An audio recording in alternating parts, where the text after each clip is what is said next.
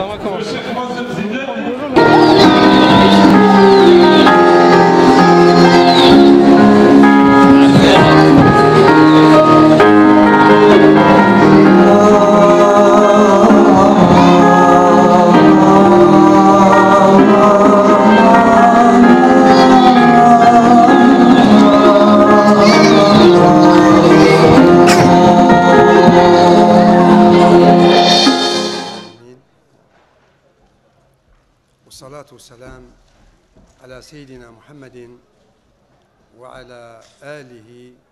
وصحبه أجمعين أما بعد أما بعد بداية السلام عليكم ورحمة الله تعالى وبركاته Promouvoir par l'éducation, l'être humain naît tout simplement avec des aptitudes psychologiques et mentales et pas plus. Il a un long chemin dans la vie à traverser. Mais pour qu'il puisse traverser ce long chemin, il faut qu'il ait des repères, des jalons, des balises. Il y a des difficultés, il y a des obstacles dans ce chemin. Il faut qu'il sache où aller. Il faut qu'il sache où aller. Quand un homme ne sait pas vers quel port il gouverne, aucun vent ne lui favorable. L'être humain, dès la naissance jusqu'à sa mort, il faut qu'il ait un certain nombre de repères. Ces certains nombres de repères sont véhiculés par l'éducation, sont véhiculés par l'éducation. Et quand on dit éducation, c'est donner forme à quelqu'un, c'est l'art de forger l'être humain, c'est l'art de le façonner, de le forger, de le façonner, de lui, de lui mettre dans son chemin des balises pour qu'il ne va pas à droite ou à gauche. وأن هذا سبيلي مستقيم فاتبعوه ولا تتبعوا السبل فتفرق بكم عن سبيله Ceci dit que il faut qu'on se réfère, il faut qu'on ait une référence, une référence, des normes référenciées par rapport à quoi? Par rapport à deux choses. Quels sont nos principes dans cette vie? Quels sont les fondements qui vont nous endiguer dans cette vie? Et quels sont les objectifs, c'est-à-dire la situation finale à laquelle on veut que cet être humain va parvenir ou y arriver.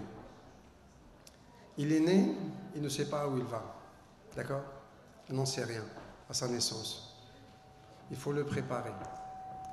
Et l'éducation commence, l'éducation commence même avant la naissance de l'enfant, même avant la naissance de l'enfant.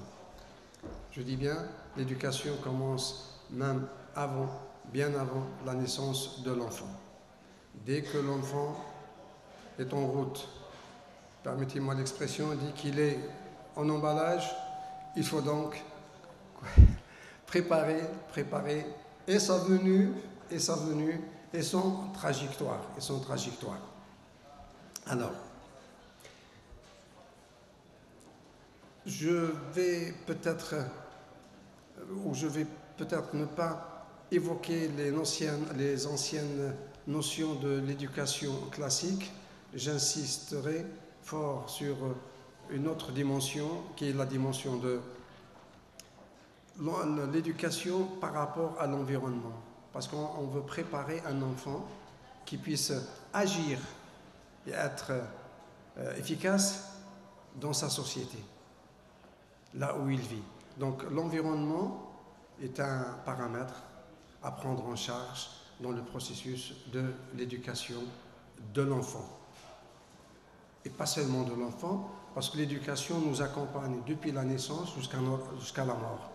En étant adulte, on modifie nos comportements, toujours par rapport à une lignée droite. Donc c'est la ligne de conduite, la ligne de conduite qui est tracée par rapport à notre objectif. Quel est notre objectif, je suppose, dans la vie? C'est d'abord être efficace, d'accord D'être efficace, d'apporter une valeur ajoutée à sa société, à sa nation, à son pays. Et puis pour aboutir, tout compte fait, au final, pour aller au paradis, n'est-ce pas? Je crois que c'est l'objectif idéal. C'est pour cet objectif que Allah nous a créé. Et donc, c'est la fin du trajectoire. Et donc, par rapport à certains nombres, comme je disais, de,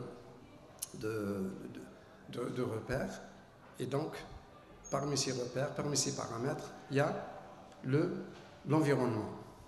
Alors, un enfant qui est né en Algérie, au Maroc ou en Tunisie, et un qui est né ici en France ou en Belgique, je crois que l'environnement nous impose, nous impose beaucoup euh, de certaines mesures. En Algérie, au Maroc, on va le préparer pour la société dans laquelle il est né, dans laquelle il vit. Ici, la société diffère et peut-être totalement, totalement de l'Algérie. Ce qui m'a, ce qui a attiré mon attention à maintes reprises, à maintes reprises, c'est en causant avec euh, des enfants qui sont nés ici, qui ont fait l'école française, qui ont fait le lycée français, qui travaillent, mais qui réfléchissent toujours comme si en étant en Algérie ou au Maroc. Et ça, j'ai trouvé que c'est un peu contradictoire au principe de l'éducation. Certains peuvent me dire, oui, mais monsieur, mais c'est un, il est d'origine algérienne ou il est d'origine marocaine. Il faut bien qu'on l'éduque euh, selon cette lignée, d'accord? Mais ce, cet enfant, il vit ici en France. Il est installé ici. Son avenir est ici, il me semble. Il vit dans une société où il faut qu'il interagisse efficacement. Donc il faut qu'il comprenne les mécanismes de cette société, comment elle marche, comment elle fonctionne. Et en, fonction de ça, il faut l'éduquer. En fonction de ça. En fonction de ça, il faut l'éduquer.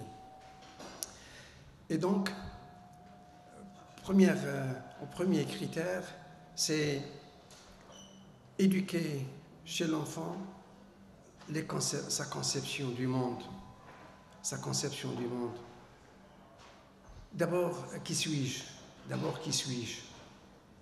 Et il y a beaucoup, peut-être, d'entre nous, que même à notre âge, ils n'arrivent pas à répondre euh, efficacement à cette question qui suis-je?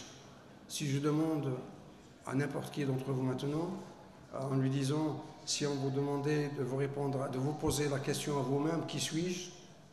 Donnez-moi dix définitions, je crois qu'il va arrêter à la troisième? C'est-à-dire qu'on ne se connaît pas, que les principes de l'éducation n'ont pas d'influence sur nous-mêmes, sur nous-mêmes. Donc il faut faire bien attention à l'éducation de vos enfants. Et il faut les préparer pour être efficaces dans la société où ils sont nés pour pouvoir s'intégrer, s'adapter à cette société tout en gardant les spécificités culturelles, les spécificités culturelles. Il y a à certains moments un, je dirais, un, conflit entre l'identité nationale et l'identité culturelle, et on ne fait souvent on ne fait pas attention. On ne fait pas attention. Parce que l'identité, c'est quoi l'identité? Ça vient du id et entité. En fait, id, entité, c'est-à-dire soi-même. Soi-même. Et donc, soi-même par rapport à quoi? Par rapport, bien sûr, à sa référence nationale. Il est français. Je crois que vous êtes français. Oui? Non Bien. Et par rapport à sa, son identité culturelle. Et il faut que ces deux, identités, euh, il faut qu'il y ait interaction entre ces deux, euh, euh, ces deux identités. Et donc il y a des atouts, il y a, un atout, il y a beaucoup d'avantages. Que vous soyez français et de culture euh, musulmane, c'est très important. Ça va vous ouvrir beaucoup d'horizons. Mais attention, il faut que vous, maîtrisiez bien euh, la direction de votre véhicule. Voilà. Donc, euh, il faut faire établir un certain équilibre entre ces deux notions qui sont fondamentales dans la structure de la personnalité. Donc votre enfant, il naît. on va commencer à lui apprendre, euh, à dire salam alaikum, à manger par la droite au lieu de la gauche, à dire à ce monsieur un mot, euh, mais pas tonton, à dire à sa khalti, mais pas tata. voyez? Et donc, euh, l'éducation ne s'arrête pas là, à ce niveau. Non. L'éducation ne s'arrête pas à ce niveau. Non. L'éducation, c'est éduquer chez l'enfant sa manière de voir la vie, le monde. Donc, donc essayer de formuler, essayer de conceptualiser, essayer donc de lui donner un sens à sa vie, à sa vie terrestre, qui est en fait, euh, qui est en fait au service de sa vie future, de sa vie future. Il ne faut pas qu'il fasse une distinction ou une rupture entre sa vie terrestre et la vie future. Il faut qu'il sache dès le départ qu'il est né et que Dieu, Allah Allah, il a créé, d'accord, pour le dernier aboutissement qui est le paradis, mais pour cela, il faut qu'il gère bien son... Euh, euh, voilà, voilà. Il faut qu'il gère bien euh, sa vie terrestre pour pouvoir en arriver là.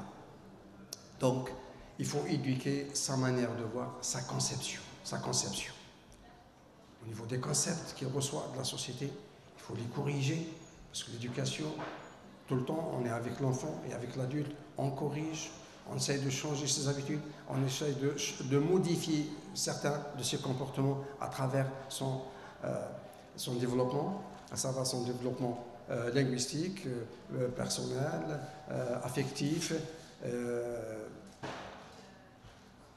bien. Donc, il faut agir au niveau de la conception de l'enfant. Pourquoi il est là? Pourquoi Dieu l'a-t-il créé? Euh, Pourquoi il vit? Et quelle est sa destination euh, finale? Et quel est son rôle? Quel est son rôle? Son rôle par rapport à soi-même, par rapport à la société, par rapport à sa religion. Par rapport à sa religion. C'est important. Et après cela, il y a les représentations. Il faut qu'il fasse, il faut qu'on lui apprenne à l'enfant, dans cette société notamment, à faire une représentation euh, claire, clarifiée de lui-même, de lui-même. Comment se positionner dans la société, c'est très important.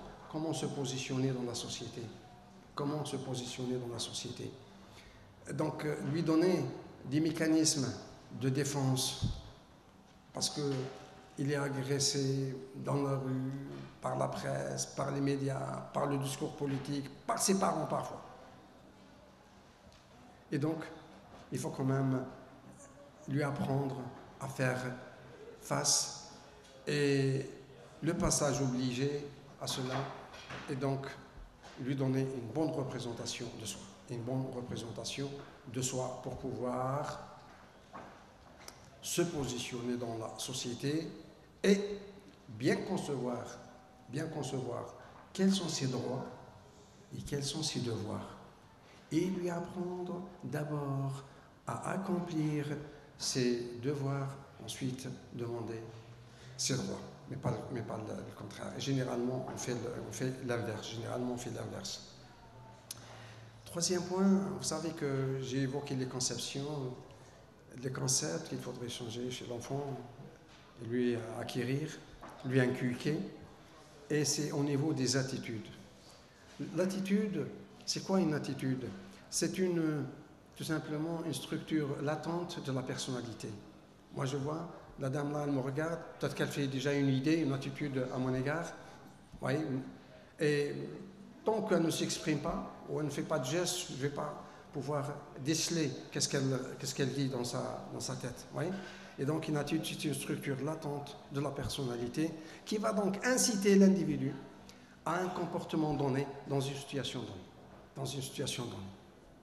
Et les attitudes donc, relèvent de la personnalité. La personnalité de l'enfant, il faut s'en occuper dès la naissance. C'est-à-dire, la personnalité, c'est l'interaction entre tout ce qui est acquis, le langage, les normes sociales, euh, et puis tout ce qui est héréditaire, euh, les traits de, de caractère, etc. Et c'est pour cela que dans la même famille, nous avons deux sœurs ou deux frères qui n'ont pas la même personnalité. Peut-être qu'ils ont eu la même éducation, mais pas la même personnalité, parce qu'il y a les traits, euh, de caractère, euh, euh, qui ne sont pas pareils. Donc c'est l'interaction entre ces composantes qui vont donc façonner la personnalité de, l'enfant. Et tout ce, qui peut influencer l'enfant quand il est enfant, ça va continuer à, à l'influencer quand il est adulte. Et donc il vaut mieux bien le préparer au départ que de modifier ou corriger après les attitudes parce que c'est un peu difficile. C'est un peu difficile. Je n'ai pas évoqué les comportements, mais j'ai dit attitude. Parce que c'est l'attitude qui détermine le comportement. C'est l'attitude, c'est les représentations qui déterminent les attitudes. Et donc, il y a tout un enchaînement, tout un enchaînement. Et là, une attitude au centre, au cœur même de l'attitude, réside la norme, la valeur sociale. Les normes, les valeurs sociales, pour nous, musulmans de France, pour vous, musulmans de France, ou français musulmans, comme vous préférez, comme vous préférez. Et là encore, il y a un problème au niveau de la représentation sociale. Comment vous vous situez, d'accord? Français musulmans ou musulmans français, il y a un problème là aussi. Et donc, euh, corriger, euh, lui apprendre les bonnes choses dès le départ, pour ne pas être contraint plus tard à corriger les attitudes, parce qu'au cœur de l'attitude réside, réside la norme, la valeur. Et c'est très difficile à corriger ou à changer. À changer. Donc, il faut bien faire attention sur ce problème-là. Quant au comportement, quant au comportement, c'est tout ce qu'on peut acquérir. Donc, euh, vous savez très très bien que le bien chez l'individu, chez l'être humain, quelle que soit sa race ou sa religion, le bien est inné. Quant au mal, il est acquis. D'accord Il est acquis. Oui, mais, avec l'acquisition du mal et l'accumulation du mal, donc euh, le, bien est censé ou est appelé à disparaître. D'accord Est appelé à disparaître. Et donc, comment préserver, comment préserver l'être humain pour qu'il reste bon dès le départ, pour qu'il garde cette qualité, ces, attributs, ces attributs qui sont donc euh, innés, qui sont innés, les. Il y, a, il y a un problème de renforcement. Généralement, on ne renforce pas assez ses attributs. Attributs. Ce n'est qu'à un certain âge qu'on croit qu'il euh, faut corriger et qu'il y a eu une déviance, qu'il y a eu une déviance par rapport à la norme, par rapport à la norme. Cette norme pour nous musulmans, elle est divine. Elle est divine, elle n'est pas sociale, elle est divine. Bien sûr, il y a des normes sociales qu'il faut respecter, mais il y a les normes divines, mais il ne faut pas que les deux soient en contradiction. Il ne faut pas que les deux soient en contradiction, parce que je dis à mon enfant de faire ceci et de faire autre chose, et il va s'apercevoir que ces deux choses que je lui demande de faire sont contradictoires, et là il y a un problème, il y a un problème, il ne rien comprendre. Au niveau des comportements, vous savez, euh, dans notre héritage culturel, nous, les Arabes généralement, les musulmans, euh, nous avons trop euh, d'autorité sur nos enfants. Nous avons, on, met toujours en amont le paternalisme, un certain paternalisme, d'accord? Tais-toi, boucle là, attention, je vais te punir. Ça, je crois que si on, il faut corriger, mais il y a des styles pour corriger un enfant. Il a des styles, d'accord? Il faut d'abord se mettre au même plan de réflexion que, que l'enfant. Sinon, si vous donnez des ordres sans qu'il les comprenne, il réagira peut-être devant vous, mais en votre absence, il fera autre chose. Et là, un enfant, on ne peut pas faire une société avec des enfants humiliés. Dans nos sociétés arabo-musulmanes, on, on, a en soi, parce qu'on a acquis le sens de l'autorité un peu exagérée qui dépasse toutes les normes, on est un peu paternaliste, on est un peu dictateur. Pourquoi? Ça a été transmis par l'éducation. L'éducation est un processus de transmission des normes et des valeurs culturelles de la société. De la société. Et on comprend très bien pourquoi, euh, chez nous, en Algérie, au Maroc, en Tunisie, euh, chacun d'entre nous, chaque citoyen est autoritaire il est paternaliste, il critique, Mais si jamais c'est lui qui a le pouvoir, il va faire la même chose. Parce que ça relève de l'héritage culturel, c'est la transmission par l'éducation. Donc on ne peut pas faire des enfants humiliés dans ce sens. L'enfant, il euh, faut lui donner un sens de sa vie, il faut lui apprendre à prendre, il faut apprendre à prendre des décisions. Il faut lui apprendre à, il faut lui apprendre à prendre des décisions, mais que l'on assume les conséquences.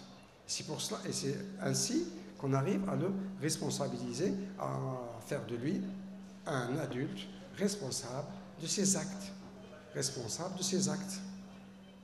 Ce n'est pas en le traitant tout le temps, parce que chez nous, euh, l'enfant, parfois, est maltraité. Tais-toi, hachakam ahmar. Tais-toi, hachakam imbécile. Tais-toi, tu ne sais rien faire. Tais-toi, tu, tu, bon rien. Et donc, il va, il va donc, euh, comment incarner cette image de quelqu'un qui ne sait rien faire, de hachakam d'ahmar, et ça va l'influencer. Et plus tard, il ne sera rien d'autre que cela, que l'image que vous lui avez inculquée ne sera rien d'autre que l'image que vous lui avez inculquée. Donc faites bien attention. Faites bien attention. Il ne faut pas trop, euh, faut pas trop de, comment dirais-je, de laxisme, mais il ne faut pas trop non plus euh, rigoureux sur euh, cela. Il faut donc le juste milieu, le juste milieu en éducation. Donc, un enfant, notamment dans cette société occidentale, française, où on doit savoir où l'on va. Il faut apprendre à l'enfant, dès le jeune âge, à se fixer des objectifs. Et qu'il faut qu'il arrive à se projeter dans l'avenir, à se projeter dans l'avenir. Alors quand on prend quelqu'un, un enfant de 15-16 ans, le malheur, c'est que lorsqu'on lui demande qu'est-ce que vous voulez devenir, il ne sait pas, il n'en sait rien n'est pas encore décidé. On n'en sait rien. Et ça, c'est très grave. Et ça, c'est très grave. Un enfant, il faut qu'il ait une idée à un âge très jeune. C'est ce qu'on appelle, parce que la question qui se pose, qui se posait dans le temps, avec Shakespeare, être ou ne pas être. D'accord? Non, elle n'est plus valable cette question. Il faut, en poser une autre. Devenir ou ne pas devenir. Devenir ou ne pas devenir comment se projeter dans l'avenir? Comment se projeter dans l'avenir? Et on ne peut pas se projeter dans l'avenir si on n'a pas des objectifs clairs dans la vie. Si on n'a pas des objectifs clairs. Un objectif, un objectif étant la situation souhaitée, d'accord? De manière à être euh, mesurable, d'accord? Mesurable, vérifiable et clarifié dès le départ. C'est-à-dire, je sais où je vais arriver et que je vais devoir au pouvoir décrire cette situation avec clarté, avec clarté. Voilà où je veux y aller. D'accord? Si je veux aller à, Lille, je crois que c'est si par là, le nord est par là, à moins que je sois déboussolé. Le nord est par là. Et je prends l'autoroute du sud pour aller à Lille, je n'arriverai jamais. Donc c'est ça un objectif. C'est le point d'arrivée. J'ai commencé par l'objectif final, qui est notre destinée finale, qui est le Jannah, Inch'Allah, pour nous tous. Pour nous tous. Mais dans cette vie, quand même, il faut que l'enfant ait des objectifs. Il faut qu'il sache fixer des objectifs. Des objectifs. Puis, il faut apprendre à l'enfant à être soi-même. Être soi-même. Il faut apprendre le sens de la clarté.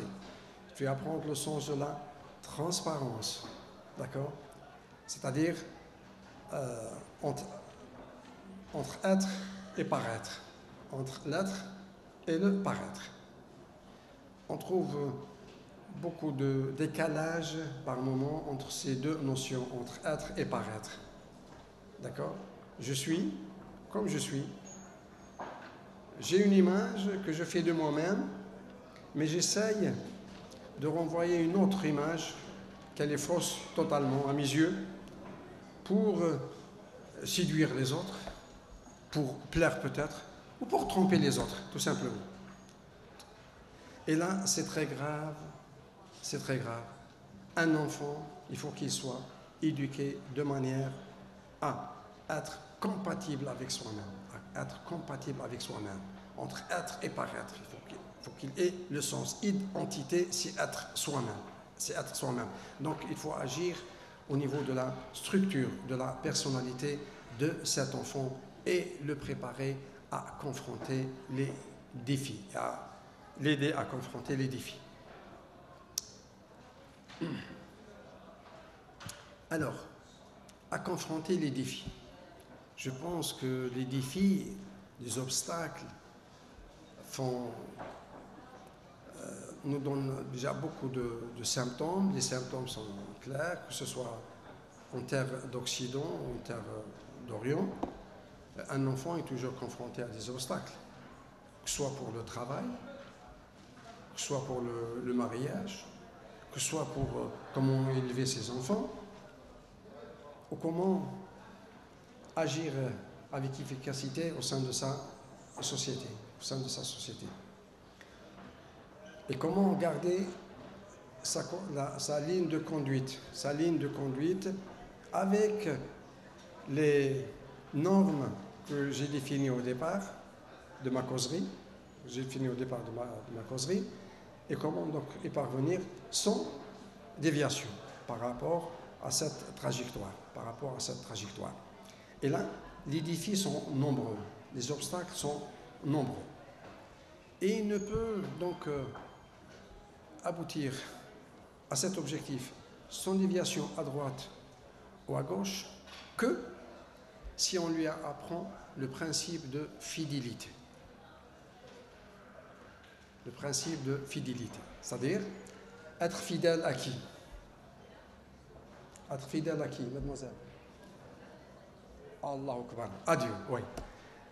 Être fidèle à Allah Azzawajal. Mais être fidèle à Allah Azzawajal dans les conceptions, dans les représentations, dans les attitudes, dans le comportement. D'accord? Il ne faut pas que ce soit un slogan, un simple slogan. On dit tous parfois, on va à la prière, on fait le jeûne, on fait ceci, on fait cela. Mais au niveau du comportement, on constate une, des déviances, beaucoup de déviances. Et c'est ça que j'ai appelé être et paraître. Non Non. Voilà. Et donc, lui apprendre à être fidèle à ses principes, fidèle à Allah, à son Créateur, fidèle à sa nation, fidèle. Et avant la nation, fidèle à Mohammed, fidèle à sa nation, fidèle à ses parents, fidèle à la mission pour laquelle il a été créé par Allah Nous avons tous une mission. Et en fonction de cette mission et comment l'accomplir, les objectifs, c'est ça la destinée. Et donc, euh, nous traversons tous par moments des difficultés.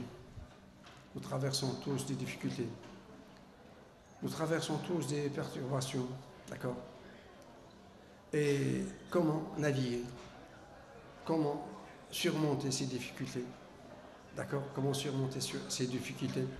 Si on ne nous, a pas, on nous a pas appris à résister, à résister.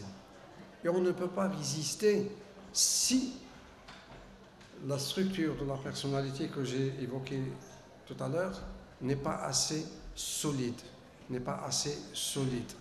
Si cette structure de personnalité n'est pas bien façonnée, n'est pas bien façonné, n'est pas bien, je dirais, euh, clarifié, déterminé avec précision, avec précision, au point virgule.